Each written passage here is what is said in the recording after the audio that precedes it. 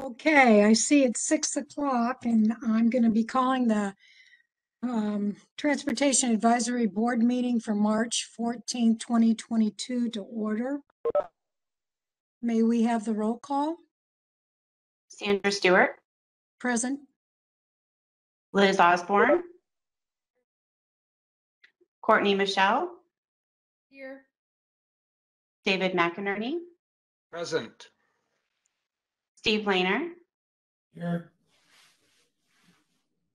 Diane Christ.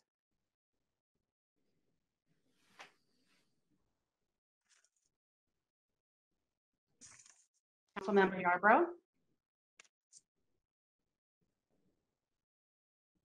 Joe Long,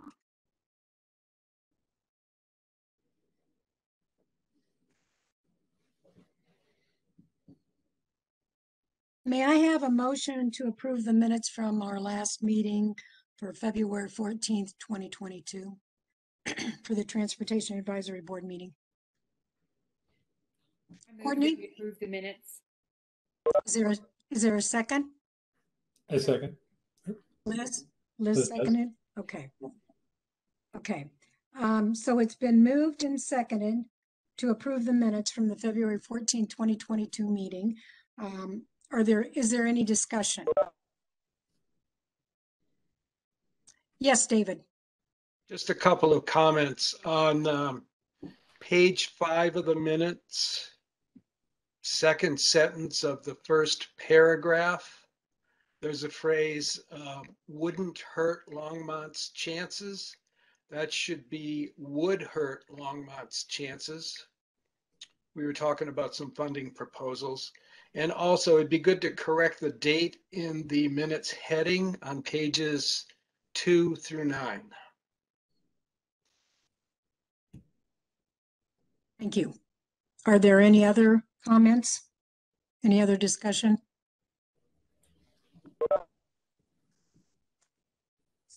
Okay, it's been uh, moved. uh, And uh, we, all those that approve the uh, minutes with the stated uh, corrections signify by saying yes.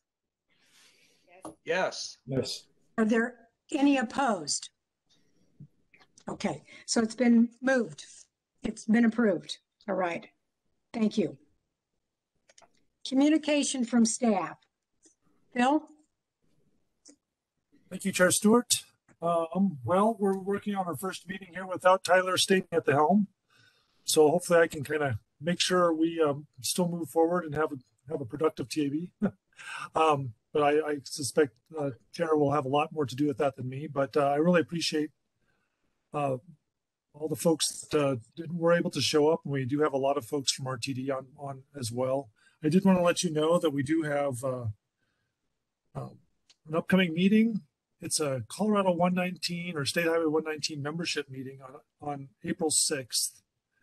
And you do have to kind of pre-register for it, but it's open to everyone. And it's, uh, here's the tagline.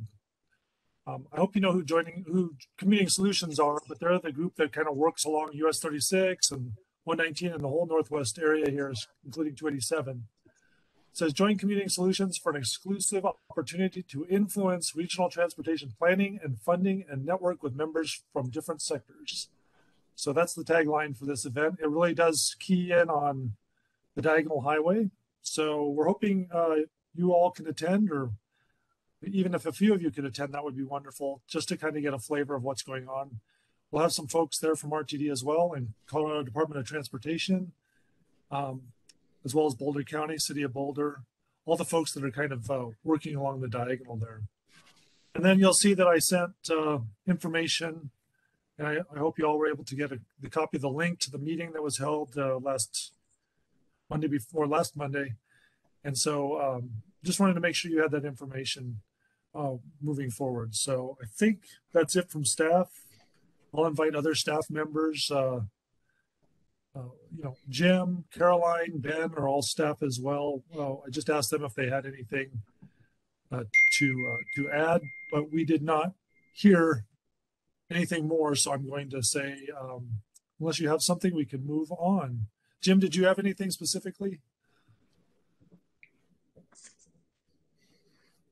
Um, not specifically in regards to the meeting, um, but just as a, an informational item. Um, city staff, uh, I think everybody's heard a lot about, uh, the infrastructure bill that's, that's, has moved through Congress. Um, and money's starting to kind of float out to the states. Uh, staff will be meeting, um, in the, I think tomorrow to start going through and reviewing some of the grants. Um, to, to see where our best opportunities will be. We're going to have staff from LPC, uh, Public Works. Uh, Phil, I think, is is involved in that in planning. Um, broadband, our broadband, Nextlight, uh, community services. So a broad broad group of city city staff kind of triaging a lot of the grants to find out where we're going to chase money. What are our best opportunities? Um, some of the continuing programs we have will will be f- focusing on trying to leverage some of the city dollars with additional grant dollars. So uh, that's the the latest kind of. Um, it's still in process as to what we're going to be looking at, um, but uh, we have a group of city staff who are, are going to begin that process. Great. And then one last, one last thing, just, uh, we're having issues with, and I just wanted to reach out to Stacy.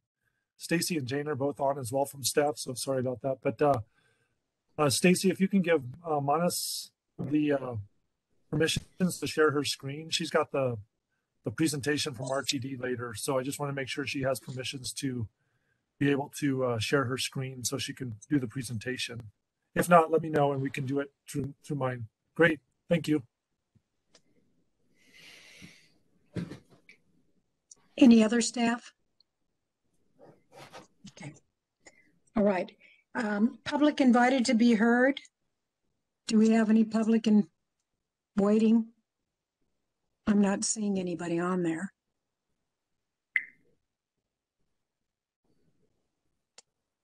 Okay. Um, no action items. Okay, so we're ready for the information items. Um, and I'll turn that over to Phil for RTD.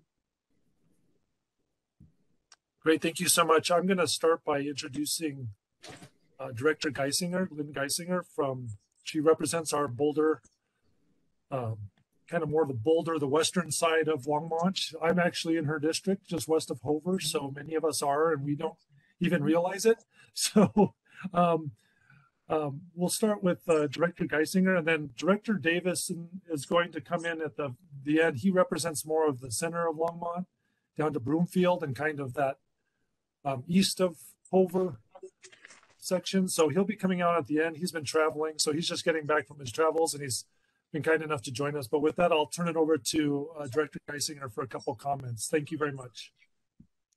Thank you very much, Phil. I'm Lynn Guissinger, as, as Phil said, and I uh, serve Western Boulder County, Boulder, Louisville, Longmont, up in the mountain, uh, Louisville, Superior, up in the mountains. And right now, I represent the southwest corner of Longmont, as Phil was saying. We just um, approved a redistricting map that does give me a little more of of Western Longmont. But um, I'd say you know, Erik Davidson, who represents uh, the, the rest of Boulder County and, and also represents Broomfield County, and I work very closely together. We consider ourselves both representing the Northwest Corridor, and um, so I think uh, I think we consider Longmont and, and all of the different areas. We have a bit, a bit of different focus, but mostly we, we feel like we're working together on them. Um, we did just pass a redistricting map where uh, we each represent about 205,000 people. And, um, you know, it's great to be here tonight. Thank you so much for having me. I think we have a real A team with Natalie Handlos and Chris Quinn also coming. um, I'm going to talk a little bit about, uh, you know, some of what's been in the press lately. And uh, some of, much of that does come back to Northwest Rail. And Chris Quinn will be talking about that, but I will uh, just talk a little bit about the board's view and some of where we are on that. Um, and then I represent, I, I uh, chair, well, I have chaired the Government Relations Committee. It's part of the executive committee now. I serve as first vice chair. So there are a couple of really interesting things happening in the legislature that I want to tell you about as well.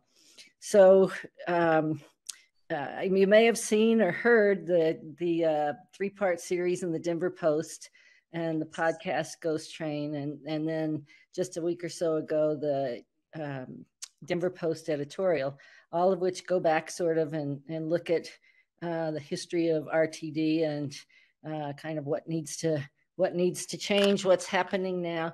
I think they all give uh, some interesting background. And um, while I don't share uh, agree with all the particulars, I think one thing that's happening now that's exciting is reflected in all of those, which is that in the as they end up, they're all talking about the need for additional funding for transit.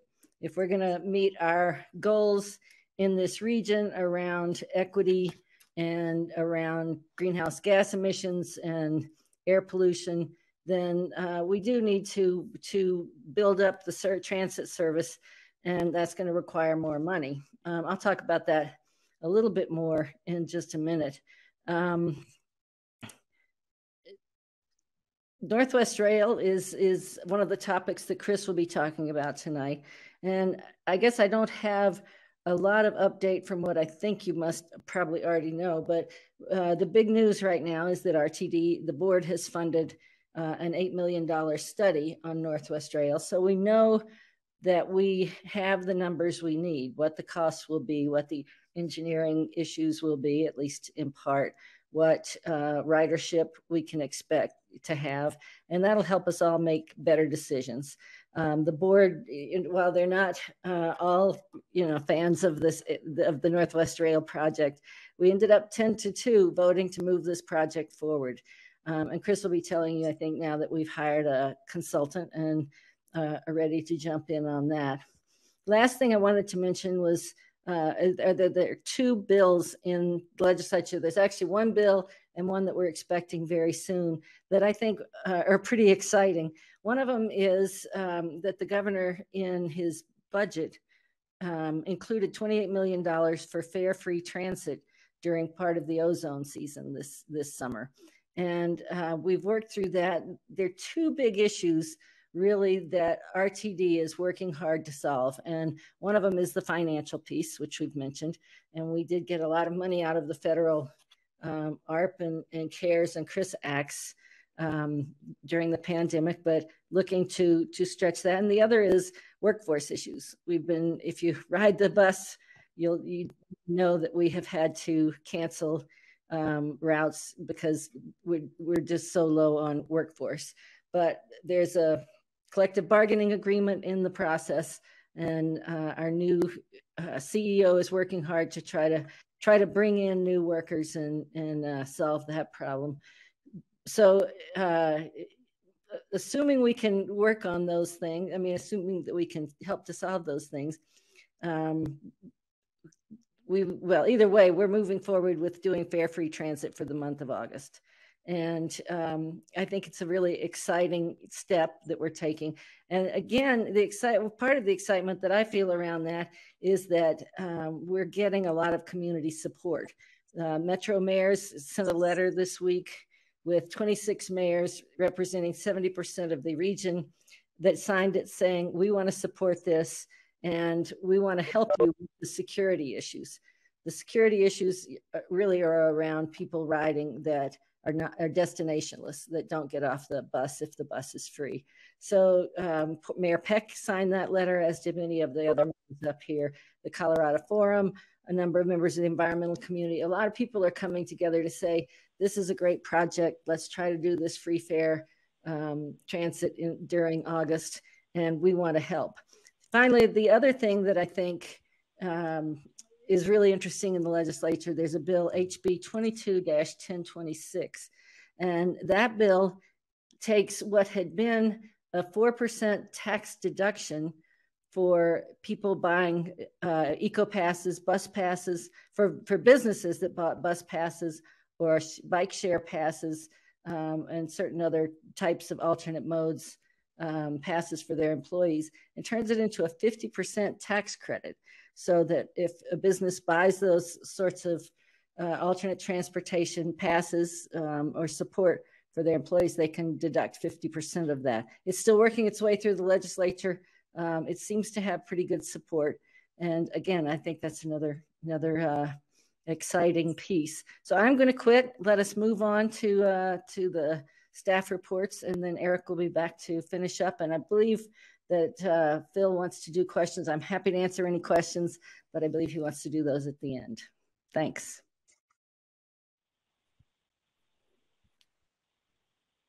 Thank you, Director With that, Guissinger. uh, With that, I think I'll turn it over to Natalie Handlos to introduce the team and uh, get going on the presentation. Thank you.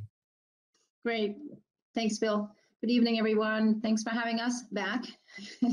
This is an annual thing now. We're, we're happy to be here. We have had a few staff changes, so just quick introduction, and if, uh, team, if you can turn your video on real quick to say hello, that'd be wonderful. So I'm Natalie Handlos. I'm the lead or senior service pl- planner scheduler for North Team, which is pretty much anything north of I-70 within the RTD district. Um, we have Mana Suparama with us. She's our service planner and scheduler one still for right now between North Team and West Team. She's transitioning out of out of North Team into West Team. Uh, we have also a new staff member, a new service planner scheduler one. His name is Greg Filkin. He started with us just a month ago. We have- We have Chris Quinn with us, who is our project manager too, from the planning, systems planning. And then we have Erin Vallejos, who is now our senior manager in contracted service uh, for contracted services and anything and everything special services related. So, thanks team. I'm gonna um, hand it over to Manas to start out, and then we're gonna tag team the slideshow. Thanks. Thank you, Natalie. Um, can everyone hear me okay? Okay, cool. Uh, so just an overview of what we're going to cover in this presentation. We're providing updates on our fixed route services, special services, uh, future plan service adjustments, as well as updates on uh, Northwest Rail, First and Main Station, and the State Highway 119 plan. Next slide, please. Uh, yeah, so starting off with the fixed route service update. Next slide. All right, so to start off, I'd like to note that we're still under the COVID-19 service plan, which has been in effect since um, April of 2020. Um, under the plan, initially, when uh, we initially went into this, um, we suspended several routes uh, throughout our service area and um, um, and uh, ha- operated several of our routes under the uh, uh, under Saturday service for our week uh, on weekdays. Um, and since then, we have been um, slowly bringing back service uh, either through um, incre- we increased the service span of the routes or added in trips, et cetera, et cetera. Um, and um, we think at the beginning of the uh, when we went into the COVID service plan initially, we were providing 60% of pre-pan- pre-pandemic service while carrying 40% of the pre-pandemic ridership. And currently we're providing 70% of the pre-pandemic service levels while having uh, 50% of the ridership. Um, uh, within Longmont, we have uh, currently suspended the routes uh, J and LX. Um, they are suspended, and uh, we are looking to bring them back once we have um, once it's warranted and once we have um, yeah, enough operators and uh, resources and stuff. Um, and overall, yeah, we have increased the uh, the service hours uh, for most of our Longmont routes. The LD, as of the um, September on board, we did bring back a few LD3 trips uh, in the midday. Um, yeah, next slide, please. All right, and this uh, is our uh, average boardings for our weekdays um, uh, in these uh, August run boards for each of these years, uh, except with the exception of uh, 2020 and 2021. We are using August run board data for 2020 and 2021. We're using September run board data since we did not have an August run board, we had a September run board. Um, and I wanted to wrote, uh, note that uh, the route L was uh, split into the routes LD and LX in August 2017, which is why we don't see uh, we don't see any data for the route L past uh, 2017. Overall, before the pandemic, we have been uh, we were seeing kind of an increase and then a, pretty stable ridership levels. And then once the pandemic hit, of course, we had a drastic reduction in our ridership. But um, since then, we are seeing a slow but steady increase in our ridership um, for all our routes, which is great. And uh, we're really happy to see that. And we're hoping that we, this trend continues um, as we as we progress.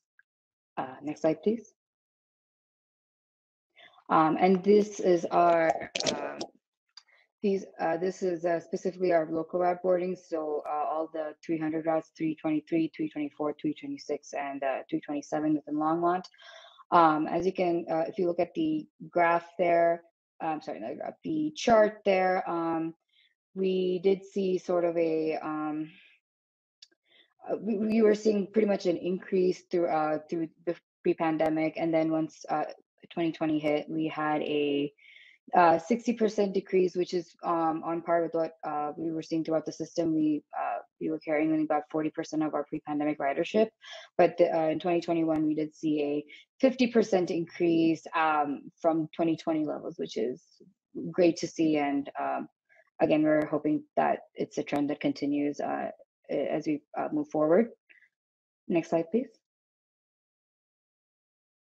Um, and these are the regional route boardings. Uh, so that includes the routes Bolt, LD, J, L, and LX. As I stated before, the uh, routes J and LX have been suspended under the COVID-19 plan. So they've been suspended since April of 2020.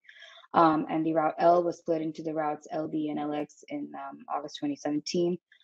Um, and the with the pandemic, the our regional routes did take a lot um, a big hit to ridership because most of our ridership is commuter or they, they uh, or riders to CU. But um, as the uh, classes have opened up, I mean, schools have opened up and uh, some businesses are bringing their employees back to the office, we are seeing an increase in that ridership as well. Um, yeah. And uh, I do want to note that our the fare buy-up was initiated in uh, July of 2015, and so we did uh, see some ridership increase with that when that happened. Um, yeah, next slide, please. All right, um, and I'll hand it over to Erin Vallejos to provide a the uh, update for special special services. Thank you. Thank you. Um, next slide, please. Uh, so similar to what we're experiencing on the fixed route side, I will say that FlexRide is experiencing um, challenges in hiring operators as well. Uh, so I do just want to note that at the beginning of our presentation. And kind of as you can see, um, since entering into the pandemic in 2020 and 2021, there really have not been a lot of changes to service. But I do want to note that at the beginning of this year, without uh, needing additional operator resources, we were able to extend service hours from 5:30 a.m. to 7 p.m. in the hopes that as we saw more people start to go back to the office, that might better accommodate um, some of our commuter riders a little bit better. So we are operating 27 weekday hours um, under the current service plan as opposed to 24. So not completely back to the 35.5 uh, at the peak pre-pandemic, but we have um, made some strides in again improving our service hours without uh, needing additional operator resources, which is a really great thing to be able to do. Uh, next slide, please. And then as you can see, similar to our fixed route service, we did see a pretty substantial decrease in ridership. Um, you know, we were kind of holding our own, and then in 2020, it definitely dropped. We have seen an increase in 2021. Uh, January wasn't quite as high as I was hoping, but February, we were actually up to a little bit over 70 weekday boardings uh, per day. So I'm hoping that trend continues. We'll obviously monitor that closely. Uh, right now, we don't have any plans to change service in the May run board, um, but we will be looking at September as um, schools continue to be back in session and see um, kind of what service warrants at that time. And that is really all for my update. Next slide, please. Hey, thank you, Erin. I'll take the next couple slides. Next slide, please, Bill. All right. So just a quick, uh, I guess, revisit, reminder. We presented this last time and the year before because it has been in place since the end of 2018, beginning of 2019, as we completed the, SA, the State Highway 119 PEL. With the PEL, we included an adjustment to the Longmont local network we conducted that through an external consultant team, as well as in really close coordination with City Longmont staff. That document is, is included in the final State Highway 119 BRT project document. And it would be implemented in phases. And as our situation, as others have mentioned, with the lack of resources and operators, as we move forward into State Highway 119 BRT, which is slated for late 2024, beginning 2025, we will look to start phasing part of the State Highway 119 BRT, that being the Bolt and the J. And uh, there, there are two patterns that are similar to what the Bolt and the J do currently that will move forward into the State Highway 119 BRT uh, plan and operations. So looking hopefully for January 2023 to start phasing the BRT better regional transit at this point rather than bus rapid transit because none of the components have been built yet on State Highway 119. But with that, we will also look to see if there are potential adjustments to the local plan that would make sense. All of this is included in what is our system optimization plan under the Reimagine study. And it does include the routings of the four local routes, the service levels, the service band, as well as stop locations. Next slide, please. So just for a visual real quick, on the left side is the current network. You can see the 326, 327, 323 is the green, 324 is the, is it brown or purplish? and on the right-hand side is what is proposed to be the feeder network for the State Highway 119 BRT, which we would look to see what would make sense to start phasing. So if we start phasing the Bolt and J as uh, kind of mimicking what is in the State Highway 119 BRT plan, then we would also look to perhaps, I'm going to say the 323 and the 324 as first routes to have adjustments to help uh, provide local service to those regional routes. Yet we haven't decided on that yet. We will have conversations and communications and um, planning with City of Longmont staff to see what they think would be best. And then obviously, as with any of this, we would have to take it through a regular public process. We won't do any of this until the system optimization plan is approved in one way or another by the RTD board. So again, looking for January 2023 to start making some of these changes, yet can't promise anything, especially since we don't know what the resources, what our, our situation is going to be with the operators at hand. Next slide. So just real quick as to what the changes in the platform hours and service levels would be. So you can see that current, which is actually current, is uh, is at 114 um, roughly weekday hours, and it would be increased to a total of 135, which is an increase of 21 plus hours per day weekday, average weekday. For the weekend, we currently operate about 62, 62 and a half hours. For Saturday, that's proposed to be increased by about the 13, 14 hours to 76. And on Sundays, where we currently operate 21 hours, we're proposing to increase that quite a bit, but um, increase of 32 hours overall, which would take it to 53. So that is a significant increase on Sunday service. Again, all depends on when we can implement this as to resources available and how we're moving forward with the State Highway 119 BRT. Next slide. And I'll hand it over to Chris Quinn to give an update on Northwest Rail and some more information on State Highway 119 BRT. Thanks.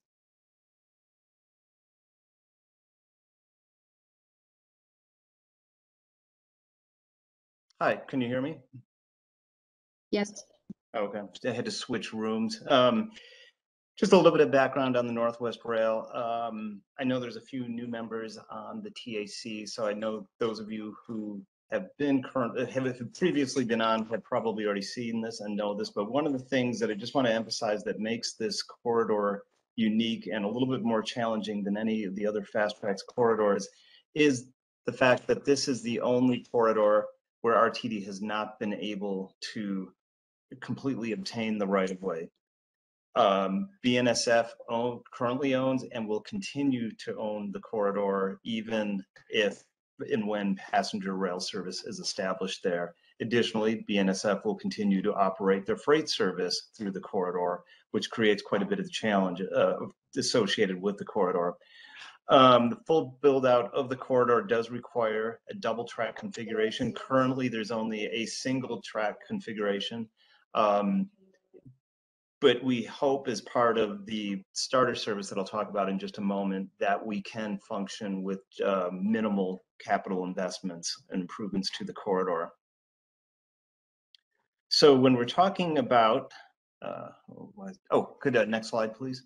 I was trying to do it on my end, forgetting that I don't have it. Let's see. I'm getting a bad signal. I'm going to turn off my camera for just a moment.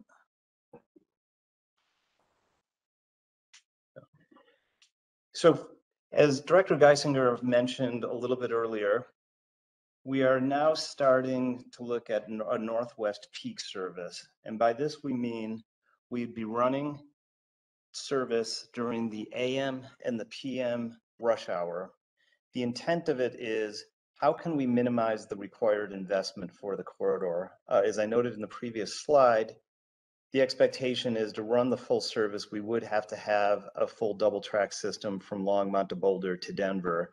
But what if we were to be able to just rely on the single track that's already out there, maybe some passing tracks at the stations? The hope is that that could significantly reduce the cost.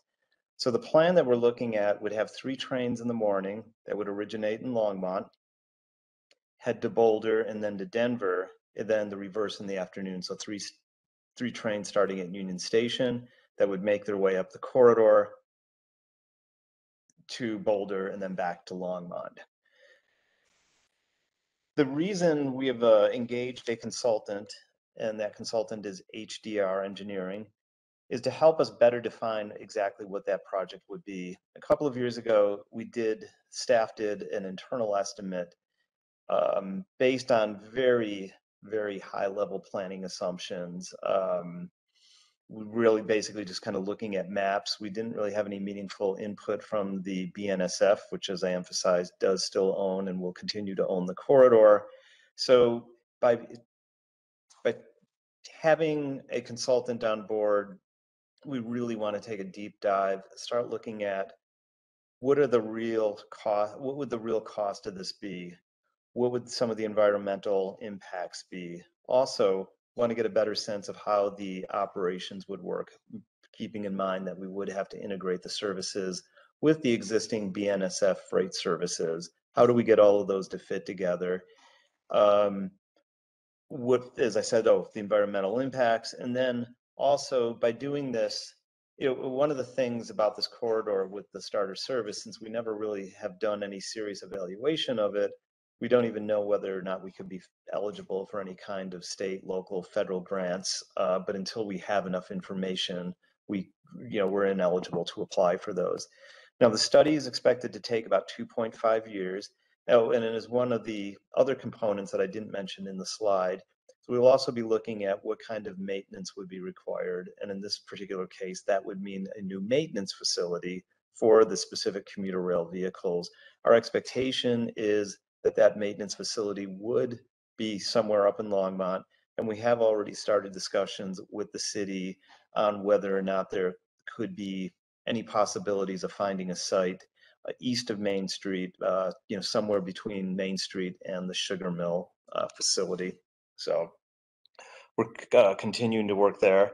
And then one other thing I also want to mention, we did have a meeting with local stakeholders and the BNSF back in February. Uh, basically, it was a it was a very high level technical, or I guess that's kind of a contradiction. It's a kind of a, a technical uh, meeting, uh, just to go over some of what the assumptions could be as we move into this study. Uh, just things on you know, basic things on track geometry, track geometry, curvature, that sort of stuff. Um, so nothing really to report on that, but uh, as I mentioned, we do hope to work through this in the, like the two to two and a half year time frame. And again, really what we want to get out of this is just a common understanding, common set of facts of what the core, what it would take to establish the corridor and how we might move it forward. Next slide, please. And then one other element that's sort of in the background to all of this is CDOT has established the uh, uh, had established a Front Range Passenger Rail Association, and one of the things that they were looking at is the possibility of running rail from Fort Collins down to uh, Colorado Springs and even further south potentially. One of the key corridors that came out of their final recommendations was in the north part anyway, between Denver and Fort Collins, would be using the existing BNSF corridor, which does go from uh, Fort Collins, Loveland, Berthoud, Longmont, and then following the Northwest Rail corridor down to Boulder and into Denver. Of the three final um, the three final corridors that are recommended to move forward for further consideration, the BNSF corridor is uh, the one that was recommended for further evaluation, uh, for more environmental review. Um, and I'm, as you see, the second bullet there kind of quotes verbatim from the report on why they felt it to be a corridor that should uh, be out for further consideration. So CDOT has released a request for proposals from consultants to conduct further review. So they're kind of doing the exact same thing for that full corridor that we are doing for the peak service. We've been in very close discussions with them to make sure that our efforts uh, overlap or that we can share information and keep each other apprised of our progress so that you know anything that one side does doesn't preclude uh, the other from being able to move forward with their plans. So quite a bit of activity in the corridor right now. Um, next slide, please. Then a real quick First and Main Street update, uh, Main, Main First and Main Station update. Just a little bit of background here. Uh, back in 2011, uh, the RTD board committed $17 million to establishing a multimodal center at First and Main Street. The intent of it was that uh, recognizing that this would be the terminus of the rail, um, what could we do to establish that as an intermodal center until the train comes? Um, this is a station that would be used as part of the State Highway 119 BRT network, which I'll talk more about in just a moment. But we've been working pretty closely with the city uh, and the city and RTD jointly conducted what is known as an IMP or an infrastructure master plan. And the intent of that was to come up with the engine, just enough engineering to determine how to move forward with future agreements. And some of the items that the uh, the plan addressed were making sure we had the boundary survey, uh, also recognizing the complexity of the drainage situation in that area. Um, what are the existing utilities? How could they be utilized? And then also determining what the multimodal transportation services would look like. How would the bus network integrate with the future train and just general transportation or uh, in and out of the site for any future users. The next steps in that process are we are working with uh, the city on an intergovernmental agreement to determine how the flow of funds would work as we uh, come up with final design and uh, build the facility. Next slide, please. And then uh, Natalie will talk a little bit about how the future, uh, how the bus operations would integrate with the site when it opens. Great, thank you, Chris.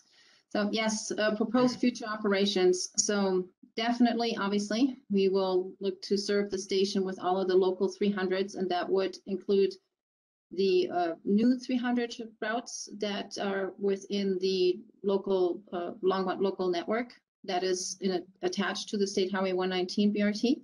We would look to have FlexRide and Access-a-Ride here, of course. Also the regional routes as they would operate depending on phasing and then with the future BRT patterns. We would also look to potentially have Flex from Transfort serve the station and um, potentially also CDOT Bustang routes as they had looked at um, some operations east-west potentially to help with building out the network overall. The access and use will depend on a few things. So one, of course, the completion of the station structure, uh, the completion of Coffman Busway, because we will need to be able to access the station through Coffman Busway. Also, uh, especially not, and I believe, I'm breaking it out because Coffman Busway, my understanding is from third to ninth, tenth, eleventh, up ninth, tenth, eleventh, yeah. Versus the completion of first and second, that those are gonna be, um, different timing. So we'd have to have both of those sections completed before we would really be able to access the station as we are planning to do, uh, once it's completely open. We would also look to access via Boston from the west side, but again, you would need that uh, road connection completed. Can't repeat it enough, operations are going to be phased and they're going to depend on resources available as well as warranted per demand. So as we move forward, we'll all be taking a very, very close look at what the ridership is, what the demand is, travel patterns, et cetera. Um, again, that's one of the other reasons why we're looking to start phasing the State Highway 119 BRT in January of 2023 so that we can gather some data ahead of actually operate, opening it in end of 24, 25 and make sure that we have the patterns the way they need to be, that they match where the demand is as well as obviously service level and service span. So next slide, please. Back to Chris. Okay. Now, next slide, please. So back in, seems so long ago now, uh, back in 2019, RTD working with the local stakeholders and CDOT completed what is known as a planning and environmental linkages study for the State Highway 119 corridor. And the intent of that was to evaluate how BRT could work, bus rapid transit could work from Longmont to Boulder utilizing the diagonal.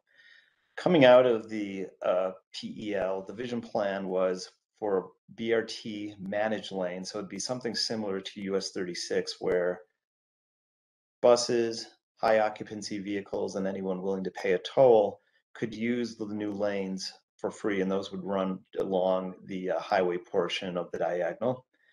It also called for, the plan also called for a busway on Coffman Street and a bikeway along the corridor, as well as improvements to the bus stops uh, within both Boulder and Longmont. Now, CDOT started uh, prob- probably about a year ago a what they're calling the 119 Safety and Mobility Project, and that has determined that at least in the near term, the managed lanes. So again, those would be the toll, bus, HOV lanes probably wouldn't be feasible uh, due to the at-grade signalized intersections, uh, but they do want to keep that in the long-term plan. So instead, what CDOT is working on now, uh, it would be for the corridor transit services to rely on queue jumps. And next slide, please. So what the queue jumps would do would they be they would allow buses to bypass the congestion at signalized intersections. Um, specifically, they would be at all of the signalized intersections along the corridor, starting on the south end, J uh, J Road, 63rd Street, uh, State Highway 52, Niwot. Uh, again, allow what they would do, and you can see it in the graphic here the worst congestion that happens in the corridor is, of course, at the signalized intersections. So by providing the queue jumps, it allows a bypass lane for the buses to jump around the congestion and then be right up front at the traffic signal and then be first out when uh, when the light turns green. CDOT is also looking at adaptive signaling as well as transit signal priority. And transit signal priority or TSP is something that gives the bus an advantage. So as an example, if the light's about to turn red and it, the system detects a bus company, a bus coming, it will hold the green light a little bit longer or change the phasing so that the bus again has a little bit of a travel time advantage. Project would also include, at least along the trunk line, new park and ride facility, or I'm sorry, not along the trunk line, within the whole corridor, a new park and ride facility at Park Ridge Avenue, and that's roughly at US 287 and State Highway 66 uh, in the in the vicinity of the Walmart. And then also, as I mentioned earlier, enhanced bus stops within Longmont and Boulder. So CDOT is leading an engineering study right now uh, for the final design of that project. And we now have enough information through the design process that it's put us, it's made us collectively eligible to start applying for various grant funds that are out there. Uh, Boulder County is leading an effort uh, to apply for $5 million for some of the uh, queue jumps as well as a bikeway that would run through the corridor. Um, that is a grant through the Denver Regional Council of Governments. Um, we're fairly confident that that's something that could be awarded. And then RTD dot um, Boulder and Longmont are also working on a potential federal grant that would also provide some additional elements of funding for the corridor. So, Next slide. And I think that's all we have. So happy to try to respond to any questions that anyone might have.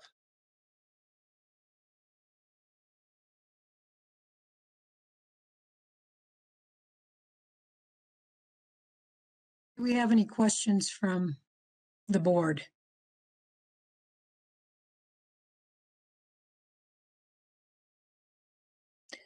Yes, Liz. You're muted. Am I still muted? Yeah, but it's real soft.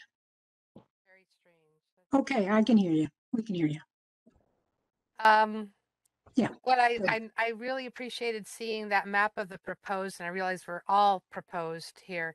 I just want to comment, it seemed to me it would be nice if, uh, to think about, it would be nice if a bus got to the St. Vrain Innovation Center.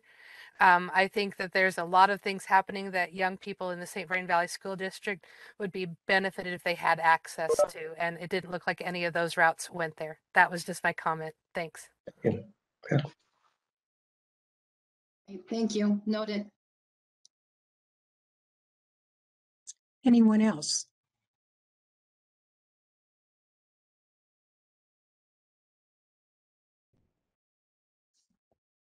David, Yes, I just wanted to uh, thank all of the RTD representatives for the information. My question is whether RTD planning envisions cooperating with um, rideshare companies like Uber and Lyft to provide uh, first and last mile services for the transit system.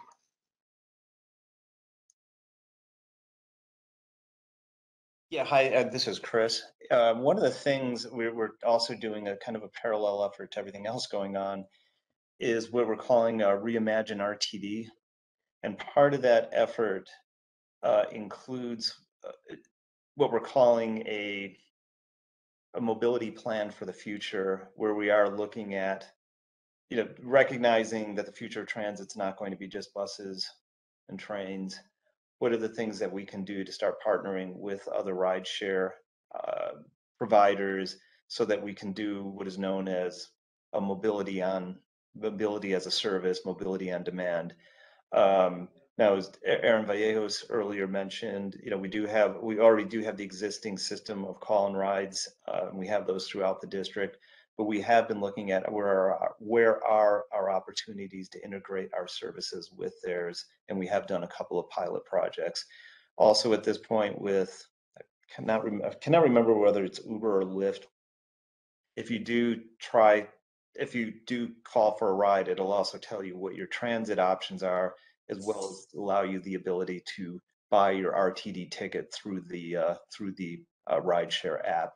So we're really in the initial stages of exploring what those opportunities could look like, but recognize uh, again that that's probably going to be the future of you know of how we move forward, how we move forward. So When you design a transit stop or a park and ride now, does it include um, accommodating safe and efficient pickup and drop off from those kinds of providers?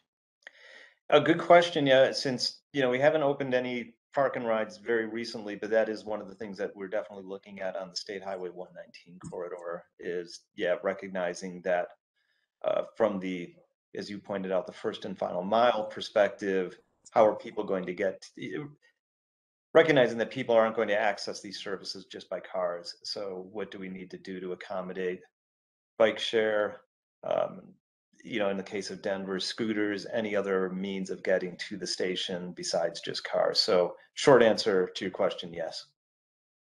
Thank you. Just To add to that, many of our park and rides have what we call the kiss and ride um, areas.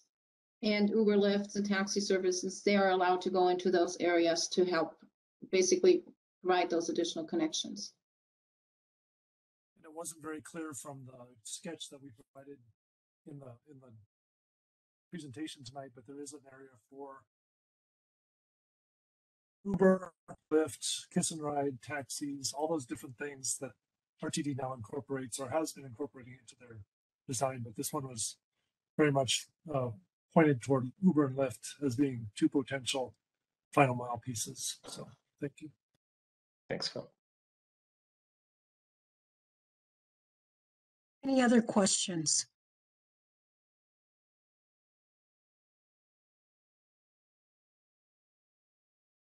If there are no more questions, um, Director Davidson is on now for uh, from RTD to be able to uh, chat with you as well a little bit. And he is the director who represents the majority of, of Longmont Central.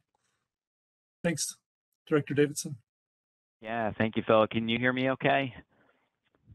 All right, thanks for bearing with me. I've, I've been on the go, so I've been audio only for most of this, but I'm glad the camera seems to be working for the moment. Um, it's good to see you all. Appreciate it. I, won't take up too much time other than answer any other additional questions since I think a lot was covered. Um, I know earlier uh, Director Guissinger did address um, several items. I think just maybe two I'll, I'll, I'll add. One, just an emphasis on the SOP or the System Optimization Plan, which was part of the Reimagine RTD.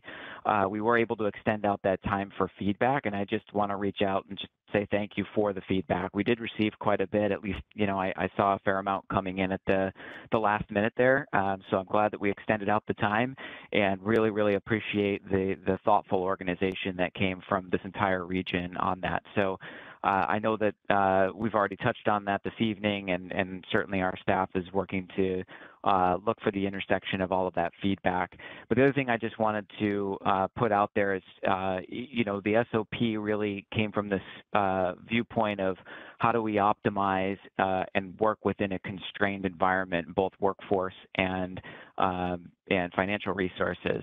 So as Director Guissinger mentioned, certainly one place that is good to see some of the press heading. Again, we may not agree with all of the particulars, but I, I think we all sort of recognize that uh, we, we, we do need to band together to uh, re-envision what the future, the longer term looks like here, and also look towards uh, ways to identify additional resources for, for transit funding. Um, so anyway, all that to say, thank you for the patience, thank you for the feedback, um, all the more important that we all band together on these kinds of things and, and work through them.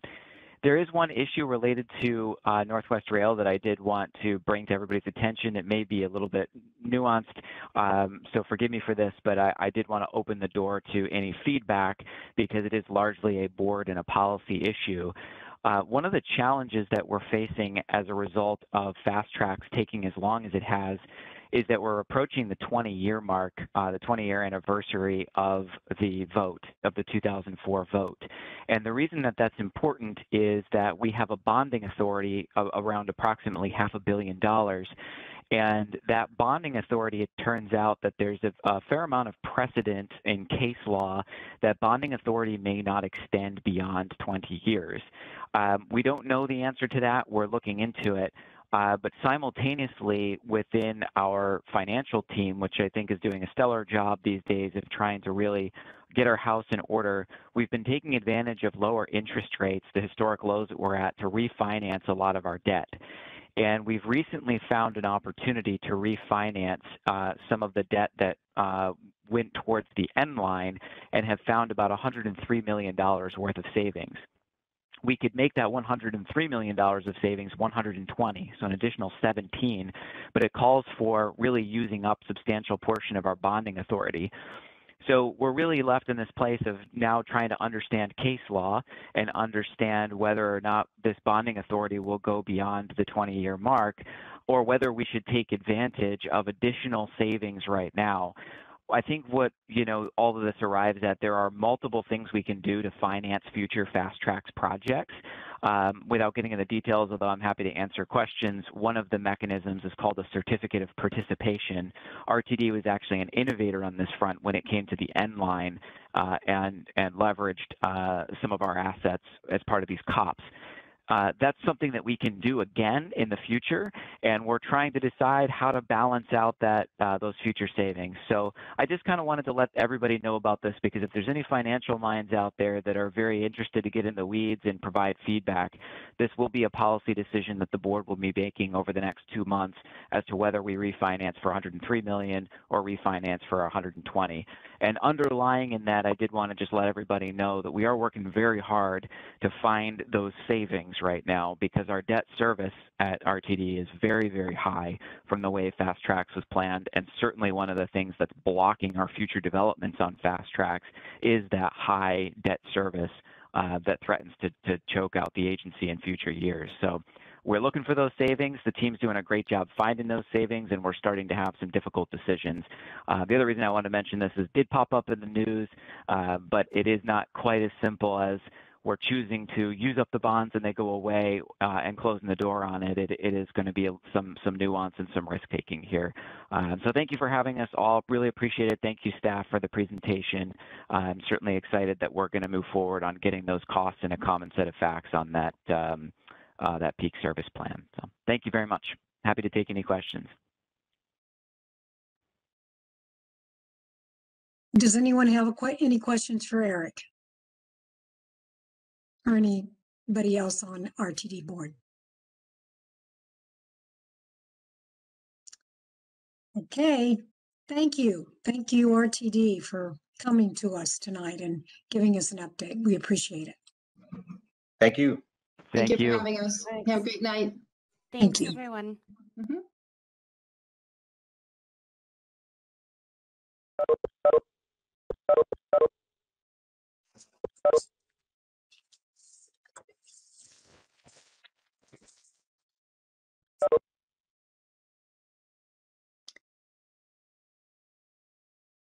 Okay.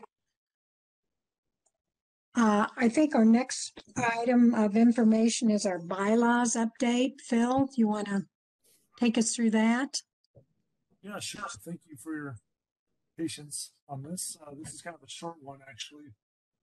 As the idea is that uh, this hasn't been updated in about nine years. So 2013 is the last time you've, or that the bylaws have been uh, looked at and revised. We've had a lot of changes since 2013. So we have a lot of, I mean, look at us right now. We're in, an- in, an electronic meeting, right? That's not even included in the bylaw statement. So there's just certain things that need to be updated to make sure that we have the flexibility to do different things. We also changed our format of our of the way that we do meetings. We got rid of old business and new business and put it into informational items and action items, which I think is more clear of what is being asked from the board. So we kind of did that thinking that oh, we're just changing the uh, the agenda format, but it's actually in the bylaws that we're supposed to still have old business and new business as part of the discussion. So just a few things to change. And I'm, I apologize for not having the city attorney here, but the city, one of our city attorneys, uh, deputy city attorneys worked on this and put a lot of effort into just trying to clean things up. And so what this really is tonight is an introduction of the bylaw changes. And so you may have some, you may have read them already and, and uh, have some thoughts on what should change and what should not. But uh, I think at the next meeting, we're asking that the city attorney um, office send somebody to kind of guide us through making the changes, and then we'll make the, we have to make the official changes, give one week notice, um, official notice to the board of the proposed changes, and then you vote out, vote on them at your next, at your next meeting. So um, I guess the proposal is, is that if you have any changes that you wanted to see in the bylaws, we could chat about them tonight and then get them to the city attorney's office and see what they think.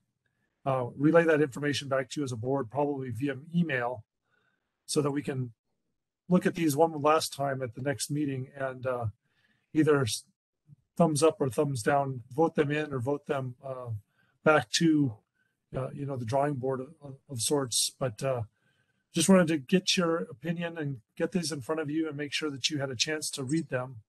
And I didn't want to kind of spring them on you the week before a meeting to then vote on them in one way or another. So we're trying to give you as much time as we can, but we're also trying to make it, it's, it it wasn't anything that was really on your work plan this year, so apologies for that, but we did need to make some changes. So with that, I turn it over to the board for any discussion. Yes, Liz. In section five voting, we have the, the city attorney commented about taking out raised hand, partly because we're currently meeting virtually.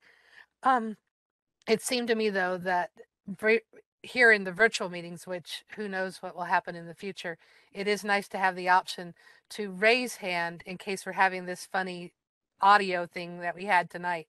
And At least we can hold our hand up until you see it. And and I think leaving that in would be a good thing to leave in. Just thank you. Point well taken. Thank you. Uh, Courtney, I agree with Liz. I thought that the hand raised, like we've never had a problem that seeing them and we hold them up until you're like, okay, I got everybody. And I, I think we should leave that in there. And otherwise it- they seemed like reasonable changes just in, you know, a little bit of wording here or there. thank you. Anyone else? Yes, Steve. Yeah, uh, and it was kind of raised in the document, executive secretary, is Stacy that by default right now? Or do we have one that, that should be named? Or should that be changed to be uh, interchangeable? I shouldn't say interchangeable, but one or the other, executive secretary or I guess, uh, what, city staff member? Phil, do you know? Which section are you looking at? Sorry. That, I'm sorry, that would be, um, Oh, I see it. Yeah, the last, I think it's the last page. At the very top, My executive understanding is secretary. that that is currently Stacy, deputy. Okay, and then the above, you know, the city attorney or assistant actually asked who is the current executive Yeah. secretary?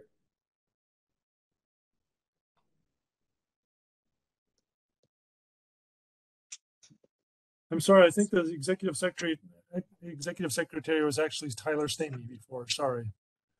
Oh, I think of him as, um, as the staff liaison, but he, I think the executive summer secretary refers to, to that position that Tyler held before. And I'm currently interim executive secretary, I believe, so. yeah. Thank you, great. So, so it's you, Phil, right now. Okay. Correct. It says in the event, or it says the public works director or director's designee shall serve as the executive secretary. And I think that's the person who works with the chair to establish the agenda um, and, and help run these meetings through and, and um, I think that, I think that's it. Yes. I don't know, Jim, if you think otherwise or have a- ano- another opinion, but I believe that's the way it's, it works. I think that's, I think that's stipulated in the code, isn't it, Phil? Yeah, and then it's also As well. defined under section ten, where it's duties of officers, executive Yeah. secretary is usually ex officio secretary of the board, the members of the board giving their name, time gratuitously, gratuitously, and the deputy, the- and the duty of the Yeah. executive secretary, exec, executive secretary to prepare for the board all business that is assigned to it. So, Yeah, yeah, and that would, that would, that would be the city traffic engineers is how we have run it in the past, and that would be the title with the executive secretary for TAB. thanks, Steve, for helping us clear that up. No, I, We had to I wasn't through sure, that's but- great, good, good information, thank you for the background. Any other thoughts about the bylaws? Yes, David. Just one editorial comment. Um, for section fourteen, the first sentence, you might want to check with the city grammarian as to whether that phrase that says whom shall be citizens at large should actually read who shall be citizens at large, WHO. Great, thank you. Anyone else?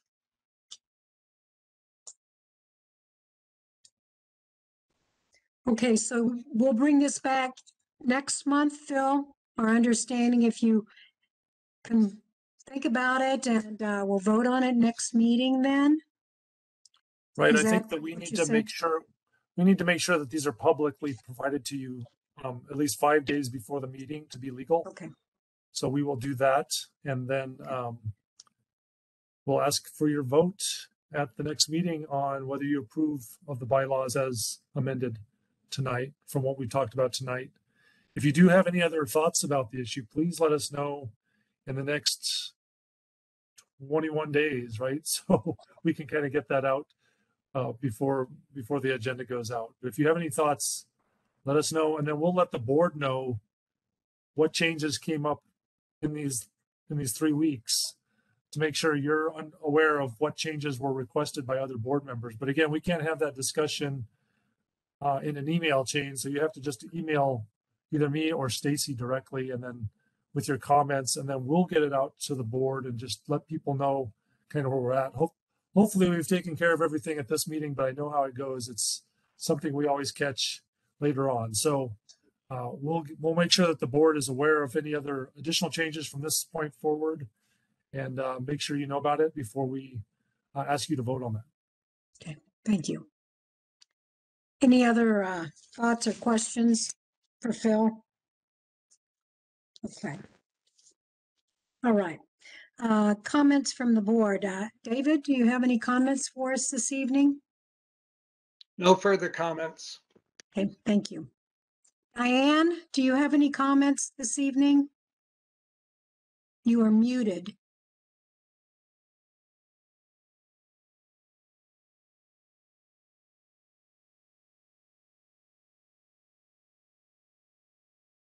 Okay, we'll go to Steve. Thank you, Sandra. Uh, no, a good presentation by RTD. Um, and I appreciate Phil giving me the background on the executive secretary. All good. Thank you. Thank you. Courtney? Uh, it's always great to see the RTD. I remember when we first joined Sandra, we actually met them in person and they came up to Lockport, which was nice. Um, and uh, I'm also wondering if we need to have any discussion about the Third Avenue and Francis issue that Phil had emailed us about the, the concerned citizen. I know there have been several meetings. It has not been brought up at the tab meetings and I'm wondering if we need to discuss that at all. Phil?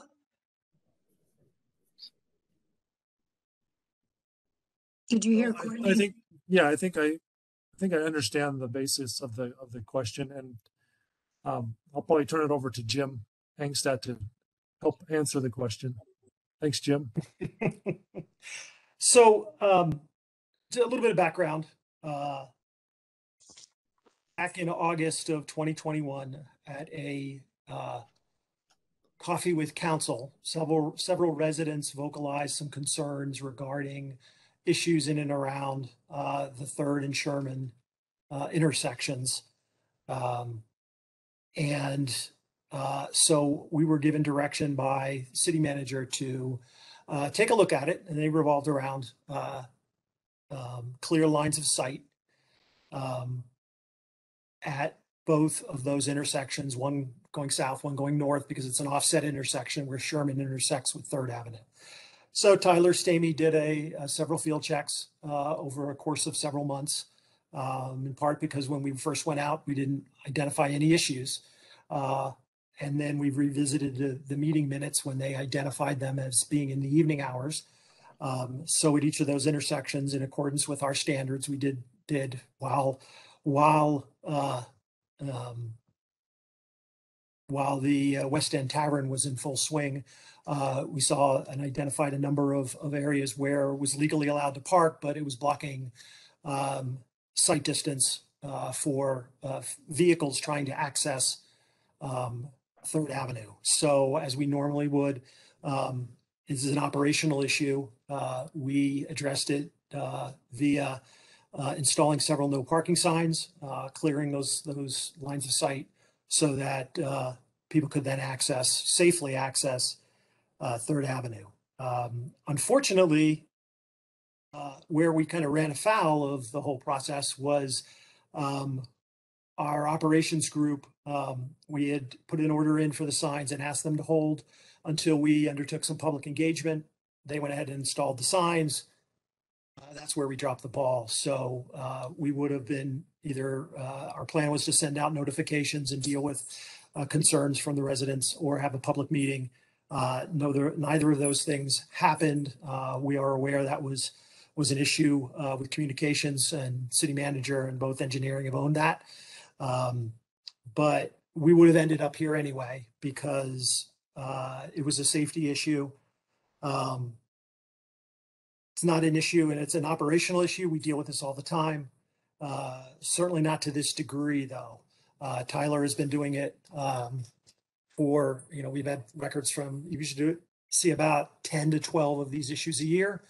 Um, they're pretty simplistic in, in resolving them. Um, unfortunately, uh, this was one a, a little bit more um, detailed uh, and a little bit larger than we normally deal with. So um, we backtracked. Uh, one of the other items we looked at was turning radii uh, for emergency vehicles and larger vehicles from Third accessing onto Sherman. Uh, in accordance with how we normally would look at these, we put a turning template onto a plan. It looked like it wouldn't wasn't going to work, so we added additional signs. Um, city manager asked us to take another look at it uh, with public safety. We did. We took a couple field tests last week and came to the conclusion that our turning templates were a little on the conservative side. So we are going to be adjusting some signs out there on Sherman to put a couple more parking spaces back in the in the neighborhood. Um, we are working on several uh, asset management projects uh, in the area. There's going to be a water line. Uh, it's actually now uh, starting um, this month on Third Avenue, coming from Main Street, going to the west. Uh, so we will be uh, working uh, in the the Third Avenue corridor. Um, there are there's going to be a storm drainage project between Sherman and Francis coming later this year. We've been asked to accelerate that. Uh, and then we'll follow up next year with a um, an asphalt rehab project of Third Avenue. So um, knowing that we're going to be out there, um, basically uh, rebuilding the road.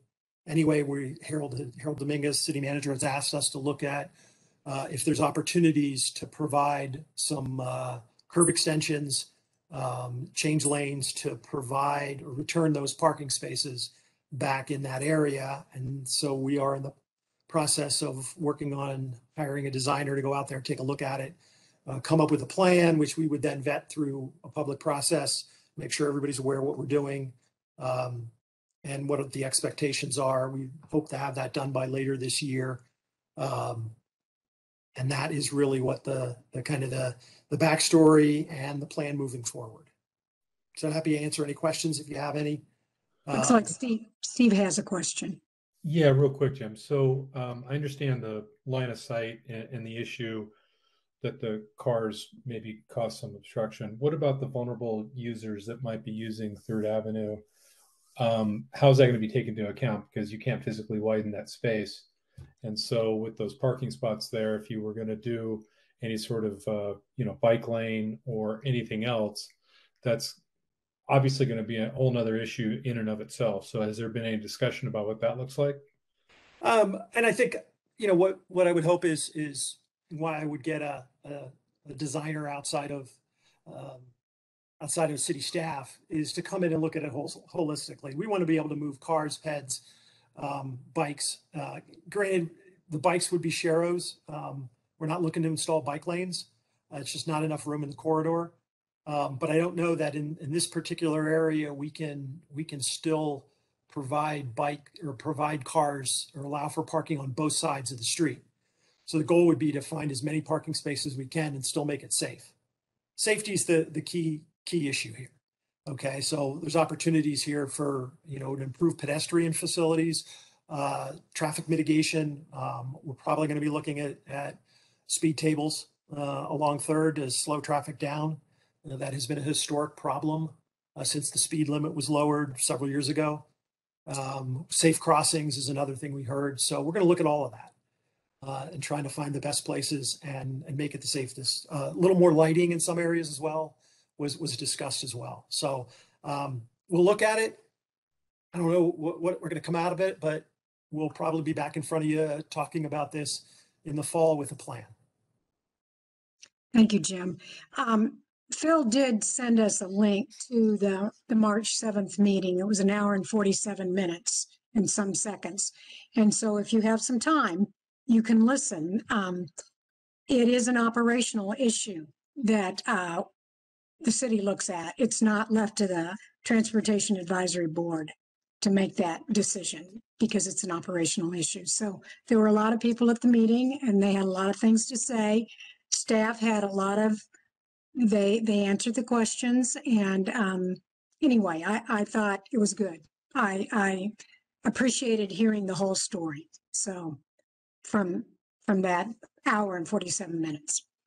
Okay, um, Joe, do you have any, um, question, yeah, um, comments for, for the staff for Do not. from today?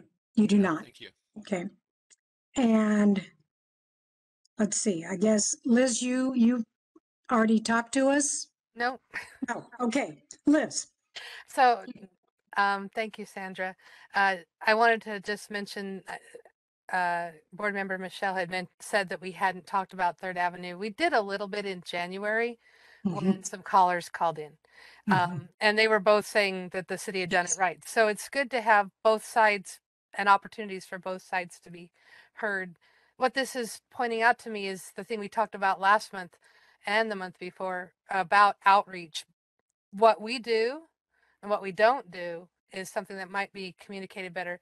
And here there's all this kerfluffle and nobody called in tonight either. And and so I'm thinking we're not getting the information out to people how they can participate at a, a ground level and understand. Um, it took us a long time to get uh, another board member as well. So we probably have some communication things we might need to be continuing to think about. And again, thanks to RTD and everybody. This was a really informative evening. Thank you. thank you. And I remember the public engagement that took place on Ninth Street, not far from my house. And um, Tyler and staff came out and they were, they were taking um, from west of um, uh, Hover to Airport Road and how they were going to add bike lanes and they were going to narrow lanes. And it was really important that that did happen. There were a lot of people there. They um, listened to what we, the concerns that um, the residents around the area had. Um, and then they um, took that back and they made some changes on their plans. And um, it's it's smooth sailing down um, that part of uh, Ninth Street, and there's bike lanes, and it's it's just good. And there's uh, speed telling you how fast you're going, and so I appreciated that city uh, took the time, transportation took the time to invite us to engage the community and ask questions and hear about the project. So to piggyback on what you said, um, Liz, it's important that we do communicate and we give the residents an opportunity to be engaged. And I just want to say that I have heard RTD speak three times and it's every time I hear them speak, I understand more about their whole process and um, it doesn't move fast, making changes with RTD and getting people on board. But I appreciated the effort of all RTD staff being here and our commissioners or directors of RTD coming and joining us and speaking to us tonight. So thank you, um, Phil and Jim for providing that opportunity. All right, do we have, uh, I don't think, uh, um, Council Member Yarbrough came this evening, did she? Okay, so we don't have any comments from her. Um, information on updating up, upcoming transportation related meeting. Um, Phil put in here the virtual or in-person survey that was sent to everyone to make sure that you take time to fill that out. Or did you want to say more about that, Phil? No? Yep. Well, just, this is a kind of a pivotal time, right? I mean, it's, the, the city council's decided that, uh, March 29th will be their first in-person meeting again. And we don't know what's going to happen, obviously, and these things might change, but, uh, would, would hope that everyone on this board was able to, uh, at least take part in that survey and give us your opinions on, uh, how you think we should move forward with this, with this format or, or with, uh, in-person format. Thank you. Thank you. Diane, um, you made a, a note in the chat. Can you uh, unmute yourself and do you have any comments this evening you want uh, us to hear? She's been having some problems with the web. I've been having several issues as well, both sound and video periodically throughout the session. And Liz, you have two? Okay, Diane, I heard my name, but your question, Sandra, do you have any comments, um, being a board member that you want to say this evening about our meeting?